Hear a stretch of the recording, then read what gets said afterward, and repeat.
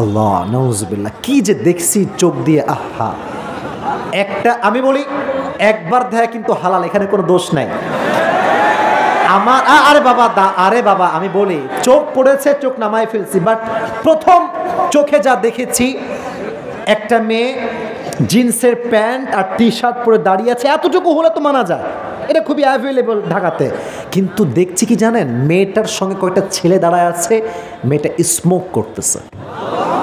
যুবকদের দিকে দেখলে যেই পরিমাণ বোঝা যায়, আমরা আখরাত থেকে গাফেল। আজকাল নারীদের দিকে তাকালে মনে হয় তারা আরও বেশি গাফেল হয়ে গিয়েছে। বেশিরভাগ মেয়েরা দেখবেন আজকাল রাস্তাঘাটে জিন্সের প্যান্ট আর টি শার্ট পরে ঢ্যাং ঢ্যাং ঢ্যাং ঢ্যাং করে ঘুরে বেড়ায়। তারা ঘুরলে কোনো দোষ হয় না। আমরা যখন ভুলে একবার দেখে ফেলি, আমাদের দোষ হয়ে যায়। আমার বোনদেরকে আমি ডিউ রেসপেক্ট বলছি। দয়া করে মেহেরবানি করে আজকের এই মাটিতে আমি একটা কথা স্পষ্ট ভাষায় আপনাদেরকে বলছি। যদি আপনাদের রূপ আপনারা কভার করে চলতে পারেন, যুব সমাজের চরিত্র সংশোধন হয়ে যাবে।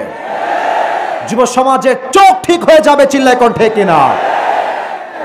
গত এক সপ্তাহ আগে আমি গিয়েছিলাম ঢাকাতে। ঢাকা নাম শুনছেন না আপনারা সবাই? ঢাকাতে। আমার কথাগুলো মুরব্বীরা আরও ভালো করে বুঝবে। ঢাকাতে গিয়েছিলাম বসুন্ধরা সিটি নাম শুনছেন? যমুনা ফিউচার নাম শুনছেন?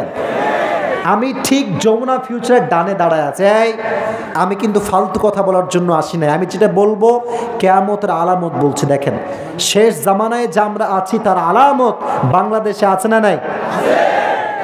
আমি জাস্ট হোটেল থেকে নেমে বের হয়েছি কিছু খাওয়ার জন্য। একদম এটা হচ্ছে যমুনা ফিউচার পার্ক, তার বাম পাশে আমি দাঁড়াইছি। তো যেহেতু আমাদেরকে অনলাইনে মানুষ দেখে, আমাদেরকে সরাসরি দেখলে মানুষ চিনে ফেলে, আমাদের কাছে আসে কথা বলার জন্য।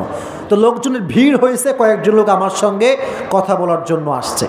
হঠাৎ করে আমার চোখ পড়ছে বাম দিকে আল্লাহ নজবিল্লা কি যে দেখছি চোখ দিয়ে, আহা। একটা, আমি বলি, একবার দেয় কিন্তু হালাল, এখানে কোনো দোষ নাই। আমার আরে বাবা, দা, আরে বাবা, আমি বলি, চোখ পড়েছে, চোখ নামায় ফেলছি বাট প্রথম চোখে যা দেখেছি, একটা মেয়ে জিন্সের প্যান্ট আর টি শার্ট পরে দাঁড়িয়ে আছে, এতটুকু হলে তো মানা যায়। এটা খুবই অ্যাভেলেবল ঢাকাতে। কিন্তু দেখছি কি জানেন, মেয়েটার সঙ্গে কয়েকটা ছেলে দাঁড়ায় আছে, মেয়েটা স্মোক করতেছে। এত আস্তে নাউজবিল্লা পড়লেন আপনারা? শেষ জামানায় যে আমরা চলে এসেছি, এর মধ্যে কোনো সন্দেহ আমাদের মাঝে নয়। আরামে ধুমায় এই স্মোক করতেছে। তো মেয়েরা যতই বাটপারি করুক না কেন, আমার চেহারা কিন্তু খুব ভালো করে তারা চেনে আর কি।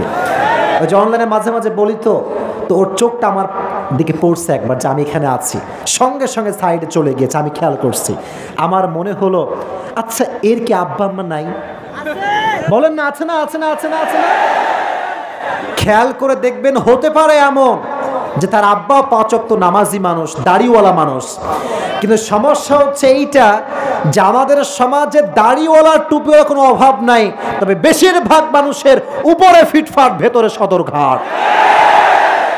যদি ভিতরে সদরঘাট না হতো, কোনো বাপের মেয়ে কখনো রাস্তার ভেতরে জিন্সের প্যান্ট আর টি শার্ট পরে বের হওয়ার কোনো সাহস খুঁজে পেত না।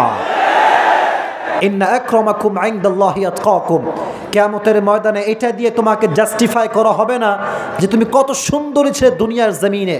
বরং সফলতার মানদণ্ড হচ্ছে যার হৃদয়ে ভয় থাকবে একজনের আওয়াজ দিয়ে বলেন, তিনি কে? আল্লাহ বোনদেরকে বোঝার তৌফিক দান করুক, সকলেই পড়না আমিন।